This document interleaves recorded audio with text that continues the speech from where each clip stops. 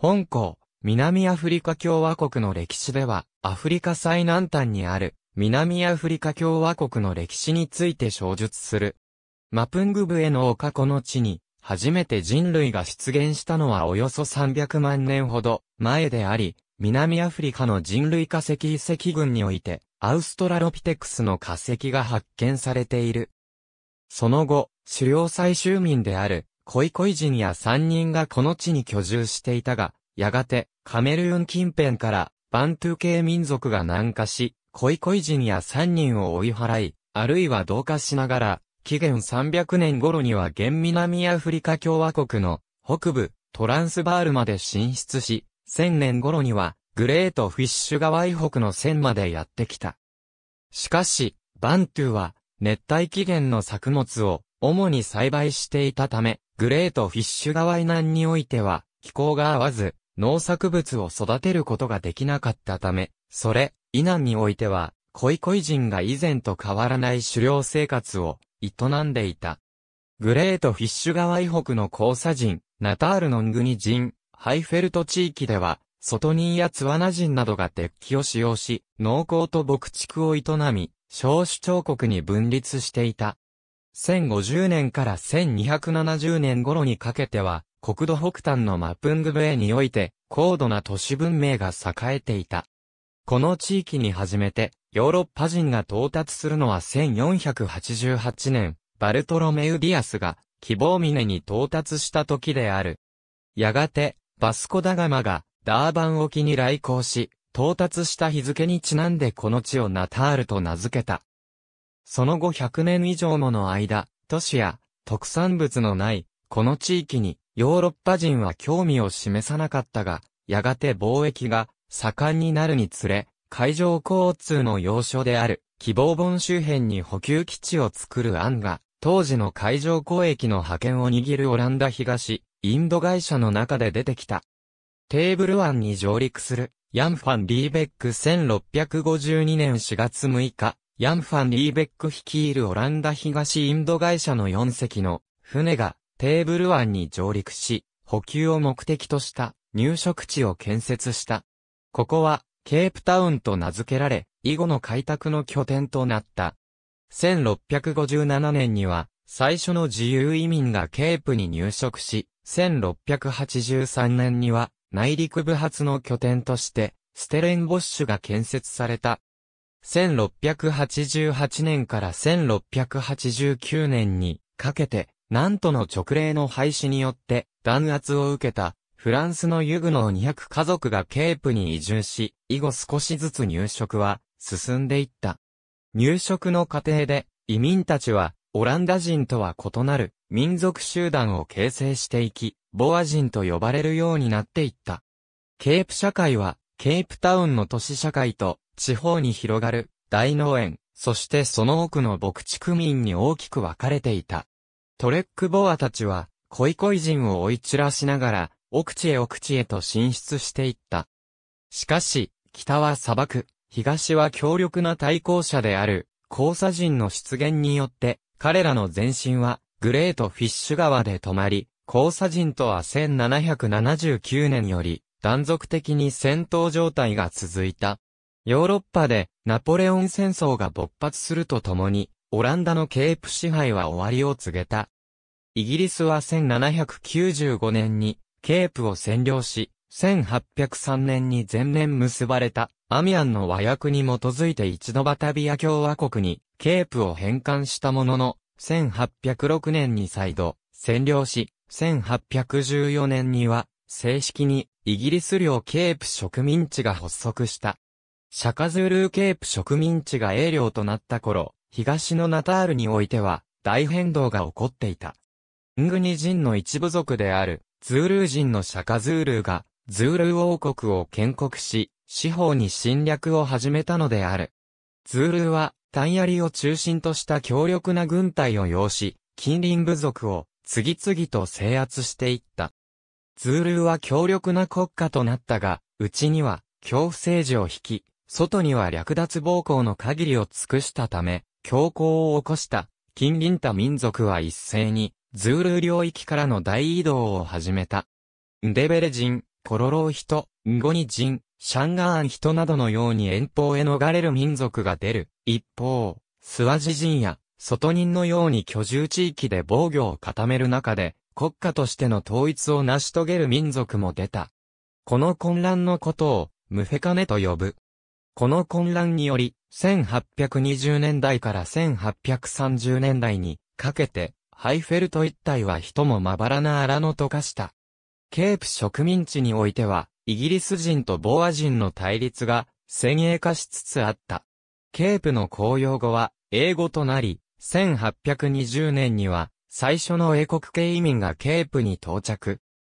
1828年には総督令50号が制定され、1809年に施行されたホッテントット条例が廃止されたため、ボア人の間で深刻な労働力不足が起き、さらに1833年には大英帝国全土において奴隷制が廃止され、特に奴隷に依存した大農園を経済の中心とする東ケープにおいて不満は頂点に達した。グレートトレック1834年、ピーター・レティーフら東ケープのボア人有力者が、グラハムズタウンに集結し、イギリスの力の及ばないナタールへの移動を決定し、1835年に移動を開始した。これを、グレート、トレックと呼ぶ。当時の内陸部は、ムフェカネで疲弊しており、ボーア人たちは速やかに勢力を広げることができた。ボーア人は、内陸のンデベレビ島を撃破し、本体は1838年1月28日にナタールへと到着した。ここでズールー人の奇襲に遭い、ピーター・レティーフラは命を落としたが、1838年12月18日にアンドリース・プレトリウスの指揮下の防和軍がブラッドリバーの戦いにおいてズールー人を撃破し、1839年10月12日にナタール共和国を建国した。しかし、ナタール共和国は、混迷を極め、イギリスの介入を招いて1843年5月12日に、ナタール共和国は崩壊。ボーア人のほとんどは、内陸部へと転身し、オレンジ川以北とバール川以北に二つの政府を樹立した。イギリスは1848年に、オレンジ川主権国家を建国してこの地域をイギリスの影響下に置こうとしたものの、ボア人や外人らの抵抗に遭い、結局1852年1月17日、サンドリバー協定によって、トランスバール共和国が、ついで1854年2月23日に、ブルームフォンテーン協定によって、オレンジ自由国が独立を認められた。19世紀の南アフリカトランスバール、共和国オレンジ自由国ナタール植民地ケープ、植民地グレートトレック後、この地域には4つの白人系政府と、いくつかの黒人王国が並立するようになった。ケープ植民地においては、1853年に議会が設立され、英国領内の自治植民地への道筋ができた。イギリスは、ケープを、インドではなく、カナダやオーストラリアと同じように扱うことを決定し、財産による制限選挙制が施行された。これは非人種的なもので、全人種同一額の一定額の納税があれば、カラードも黒人も選挙権を持つことができた。と言っても、両人種の有権者は、総有権者の15%を超えることは、ケープ植民地の歴史を通じ一度もなく、両人種代表の議員も現れなかった。イギリス系の移民は続いたものの、この地では、ボア人は多数派の地位を占め続けた。ナタール植民地は他の産植民地とは異なった歴史をたどった。ナタール共和国の滅亡時に、ボア人のほとんどがこの地を脱出して内陸部へと向かい、その後植民地政府がイギリス人の移民を奨励したため、この地では白人の大半をイギリス系が占めたのである。また、海岸部でのプランテーションの労働力として、英領インドより多数のインド人が移入された。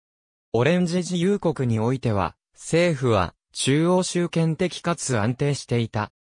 一員制の議会は白人限定ではあったが、ボア人限定ではなく、政府内に目立った対立もなかった。第3代の大統領には、ヨハネス・マルティヌス・プレトリウスが就任。彼は、初代トランスバール共和国の大統領であり、両国の大統領を兼任して、統一を目指したが、トランスバールの反発により、トランスバールの大統領職は辞任することとなり、両国の統一は遠のいた。第4代の J1 ブラント大統領の時代に、オレンジ自由国は最盛期を迎える。国内の制度は整備され、1869年には、東の外人との戦闘に勝利して、カレドン河合生の肥沃な土地をもぎ取った。1871年に、各国の係争地であったキンバリーにおいて、ダイヤモンド鉱脈が発見された際、オレンジ自由国は、キンバリーの領有権を主張したものの、イギリスの支援を受けた西、グリカランドに譲歩を余儀なくされた。第一次ボーア戦争のボーア兵、トランスバール共和国では、政権は安定した試しがなかった。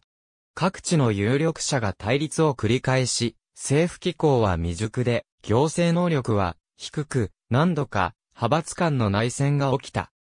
1870年代に入ると財政は逼迫し、それに乗じたイギリスによって1877年にトランスバールは占領され、同国の歴史は一旦終焉を迎える。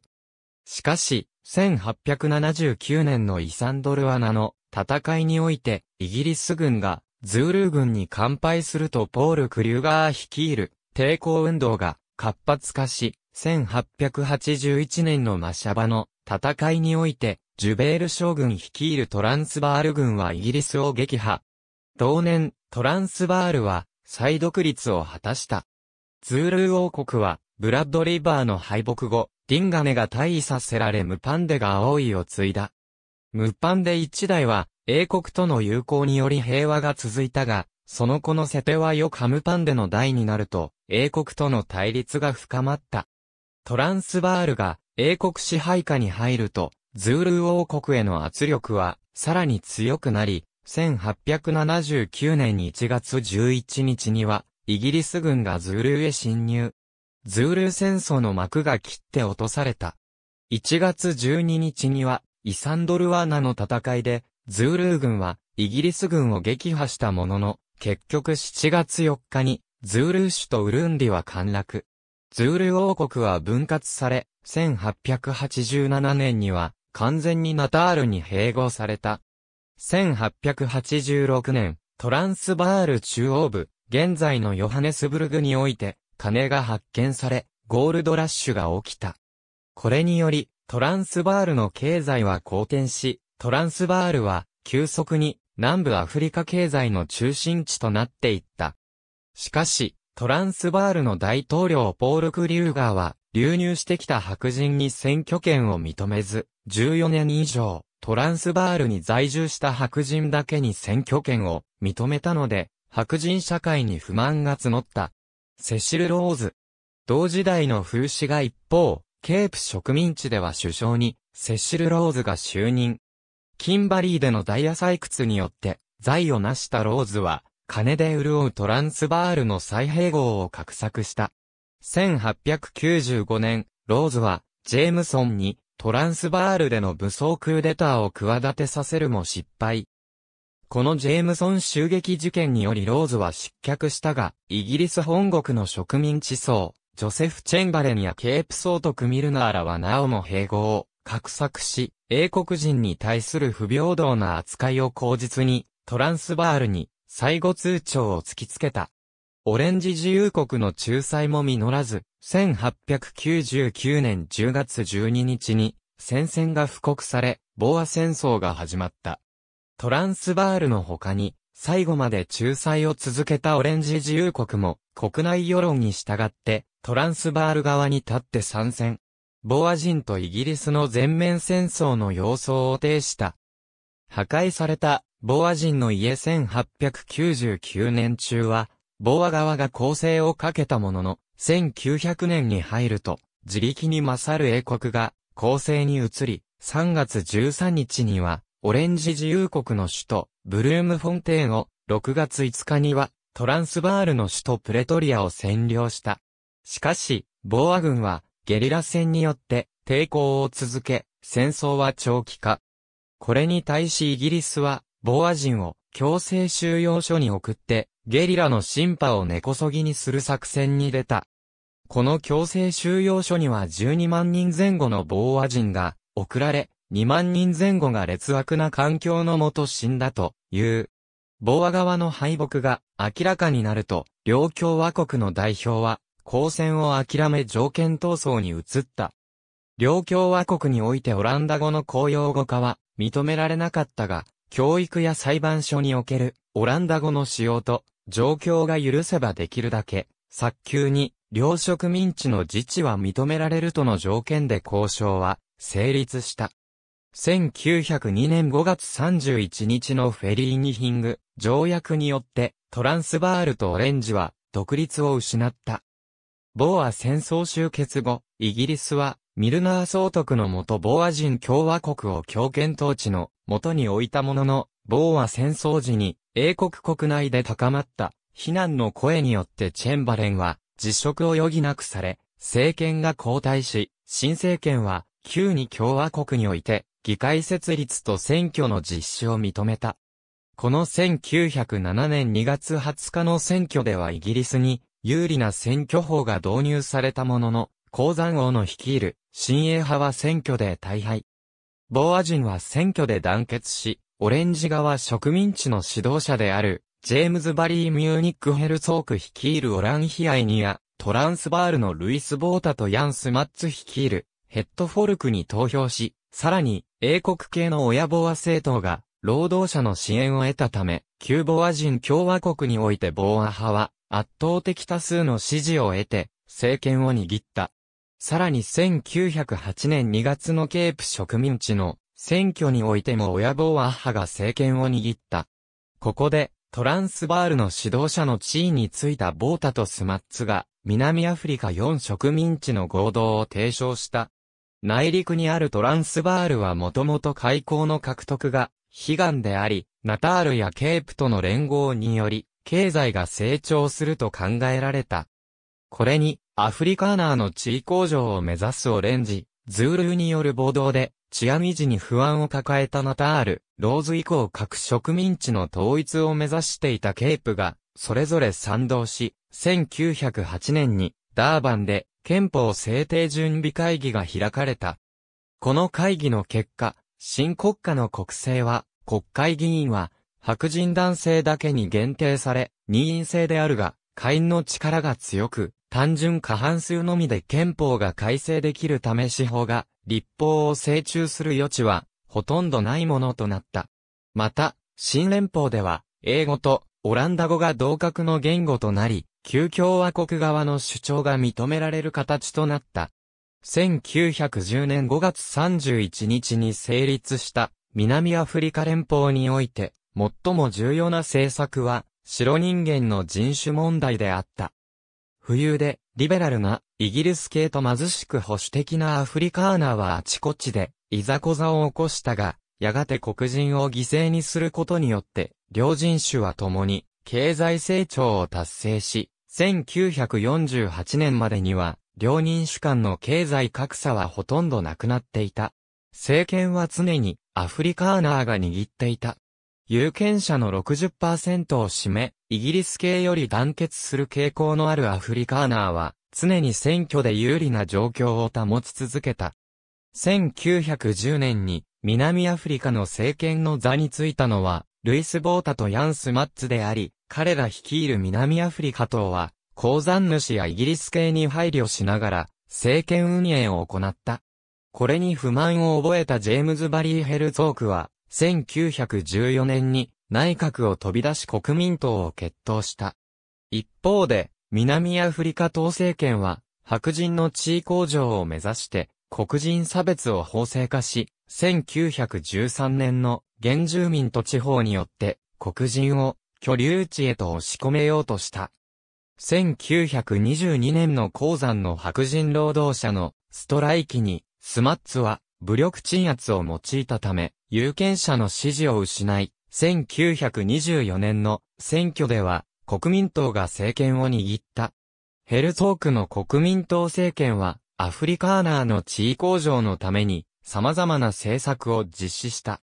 農産物市場の保護や白人労働者保護、白人女性への参政権の付与により、白人全体としての政治力経済力を増強し、1925年には公用語オランダ語からアフリカンス語へと変更した。1927年には背徳法が制定され、異人種間の恋愛関係が禁止された。1931年、ウェストミンスター憲章が採択され、南アフリカは、カナダやオーストラリアと同様に実治国から、イギリス連邦内における、独立国となり、内政外交に、完全な主権を持つこととなった。1933年には大恐慌の余波を受け、国民党のヘルツォークと南アフリカ党のスマッツが連立政権を樹立し、1934年には両党は合併して連合党となった。これに不満だったダニエル・フランソワ・マランは1933年に純正国民党を設立し、これが後の国民党となる。第二次世界大戦が勃発すると南アフリカは連合国側に参戦するが、これに不満な一部アフリカーナーは親ナチス団体、オッセはブラント枠を設立し、反戦運動を繰り広げた。第二次世界大戦は、戦場から遠く離れた南アフリカの経済を飛躍的に向上させ、工業化が進み白人の貧困もほぼ消えた。しかし、アフリカ民族会議に率いられた黒人も、白人との格差に不満を募らせており、連合党政府はパス法の緩和などいくつかの情報を行った。しかし、この情報は黒人にも不満であったが、アフリカーナーの間に深刻な不安を巻き起こし、人種差別政策を唱える国民党の支持は激増した。白人専用の表示1948年、国民党は政権を獲得し、マランが首相に就任した。国民党は政権獲得後、1950年より人種差別政策を実行に移し始めた。この政策を国民党は人種ごとに分離して発展するものであるとして分離と称した。それまでの差別法に加え、異人種間の婚姻を禁ずる雑婚禁止法、人種別居住を法制化した集団地域法や黒人の身分証形態を義務付けたパス法、交通機関や公共施設を人種別に分離した隔離施設留保法、人種別教育を行う万通教育法などが次々と法制化され、白人、カラード、インド人、黒人の4人種を社会のすべての面で分断する政策が実施された。さらに1951年、国民党はカラードから選挙権を取り上げる法案を可決。司法がこれに対し激しく抵抗したものの、1956年には、両院3分の2以上の可決をもって、最終的にカラードの選挙権は取り上げられた。これに対し、黒人を代表するアフリカ民族会議などは反対の声を上げたが、選挙権を持つ大多数の白人はこれを歓迎し、国民党は以後1989年まで選挙で勝利し続けた。国民党政府のもと、政府の権限は急速に大きくなり、司法のコントロールも受け付けなくなった。白人内での民主主義は維持され、アパルトヘイト反対を含む言論の自由も認められていたものの、政府は裁判なしで人々を逮捕する権限や集会を禁止する権限、出版物を発行禁止にする権限や出版物を検閲する権限を持ち、南アフリカは警察国家的要素を呈した。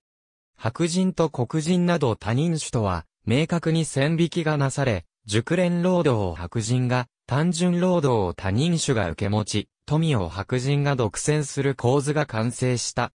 バントゥースタンのチズマランは1954年に引退し、後継首相となったヨハネス・ストレーダムが1958年に死去すると、ヘンドリック・フルールトが首相の座に就いた。1959年には、バントゥージ地方が制定され、国土を白人地域と黒人地域とに分け、黒人は民族ごとのバントゥースタンに属することとした。人口の大多数を占める黒人には、非常に小さく痩せた僻地しか与えられず、白人が国土の重要な部分を独占した。さらに、パス法など各種差別法案を強化し、アパルトヘイトをさらに堅牢なものとした。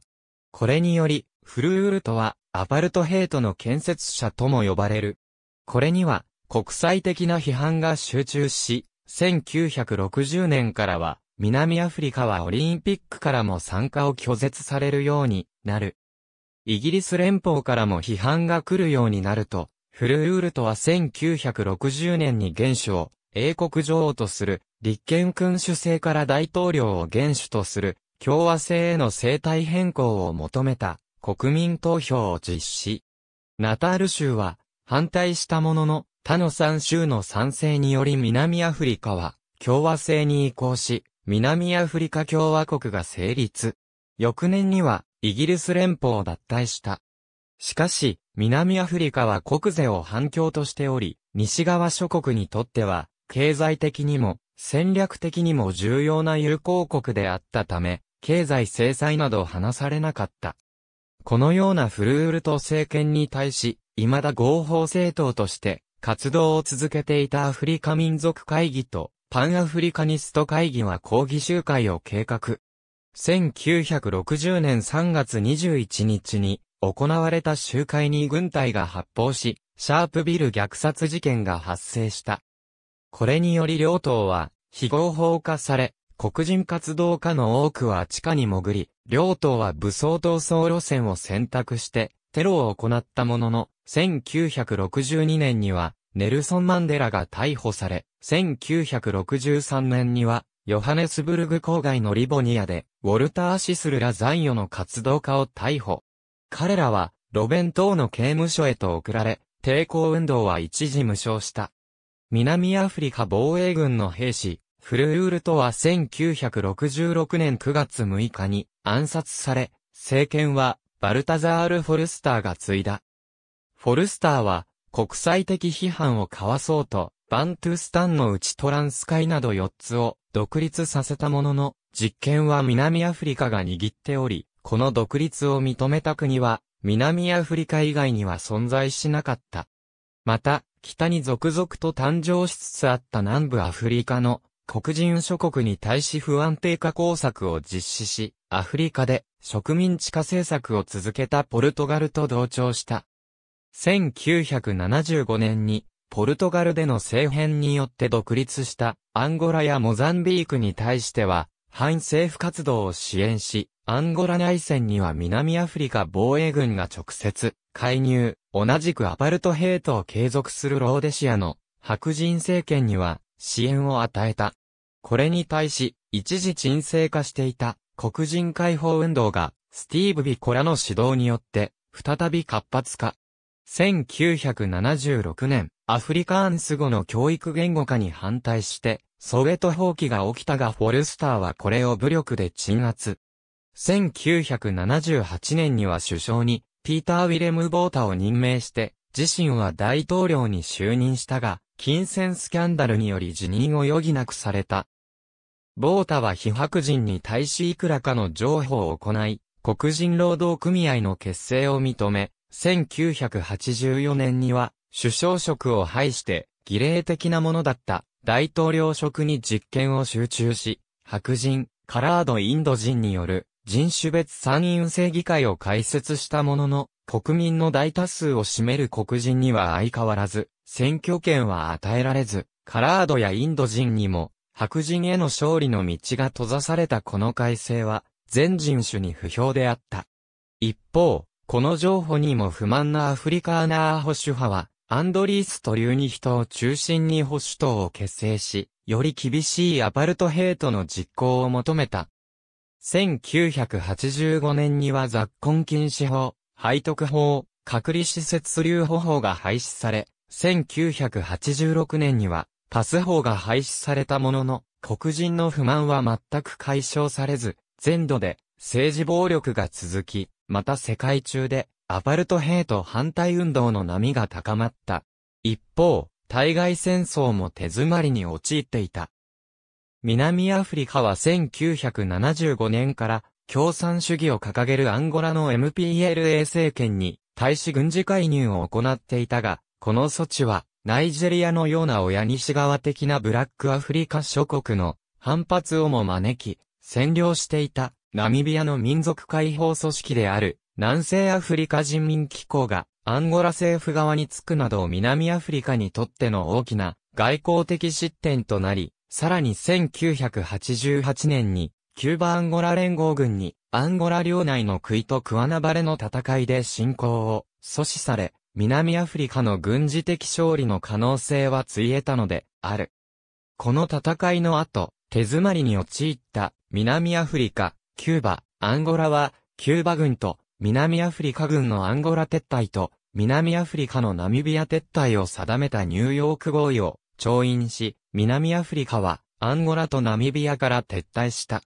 ナミビアは1990年に南アフリカから独立し、アパルトヘイト体制は国外で敗北したのであった。1989年、ボータは病気により大統領を辞任し、フレデリック・ウィレム・デクラークが大統領に就任。デクラークは従来の対決路線から対話路線へと転換し、1990年2月11日にネルソン・マンデラを釈放。さらにオリバー・タンボやウォルター・シスルなど黒人指導者を釈放し、ANC は1990年8月に武装闘争を放棄。対話への道が開けた。これに対し、白人右翼の保守党やズールー人のマンゴスツブテレジ、率いるインカタ自由党が反対を表明し、政治暴力がナタールを中心に激化した。1991年にはデクラークは、残りのアパルトヘイト処方などを廃止し、1993年には、核兵器所持を公表するとともに全て廃棄した。1993年4月には、全人種選挙を1994年4月に行い、5%以上の票を獲得した政党は、連立政権に参加することで主要政党が合意。白人右翼のうち一部も自由戦線を結成して、選挙に出馬し、さらに選挙の数日前に、最後の有力勢力であった、インカタ自由党も選挙参加を表明。選挙はおおむね平穏に行われ、アフリカ民族会議が62.5%を獲得して第一党となり、国民党が20.4%、インカタ自由党が10.5%を獲得して、政権への参加資格を得た。これにより、ネルソン・マンデラが大統領、ターボムベキとデクラークが副大統領に就任し、南アフリカ初の全人種政府が成立。アパルトヘイト体制は終わりを告げた。マンデラ大統領新政権発足後、マンデラは人種間の融和に心を砕いた。1996年には11の言語を公用語とし、すべての差別を禁じる新憲法が制定され、すべての人種が調和して共存する虹の国が南アフリカのスローガンとなった。黒人居住区へのインフラの整備や教育の充実などを行い、アファーマティブアクションの実施により、人種間の格差を縮めようとした。また、経済政策においては、国民党政権を継承し、ネオリベラリズムの立場を堅持した。このため、南アフリカ経済は、成長を続けたものの、もともと500万人の白人向けの経済と、雇用であった南アフリカ経済を4000万人の南アフリカ国民向けに再構築することは難しく、企業は高利益体質を維持したものの、雇用は父として拡大しなかった。さらにアパルトヘイトの消滅によって、これまで南アフリカに入国できなかった、モザンビークやジンバブエなど近隣諸国から黒人が続々と職を求めて流入してきた。そのために失業率が極度に悪化し、失業者は政治暴力の時代から巷に溢れる中華機を持って犯罪に走った。こうして南アフリカの治安は世界最悪レベルにまで落ち込み、ヨハネスブルグやダーバンの中心街は大企業が流出し、ゴーストタウンと化すようになった。1999年、マンデラは引退し、副大統領のターボムベキが大統領に就任した。ムベキは、黒人経済力増強政策を実施し、白人企業の役職や権益を他人種に分配して、経済格差を縮小させようとした。しかし人種間の差は、多少縮まったものの、問題の根本である、所得分配の不平等と失業はまるで改善されず、治安がも悪化したままであった。さらに、無べき政権は、エイズ対策に失敗し、南アフリカの生産労働人口の21.5%が HIV に感染していると推定されるまでになった。2008年、副大統領のジェイコブ・ズマが ANC 議長の座から無べきを追い落とし、大統領に就任した。ズマ政権は、エイズ問題、時に係数0.73という世界一の所得格差、失業問題、世界一悪い治安など、問題山積の状況であり、またアパルトヘイトの影も完全に消え去ったとは言い難い。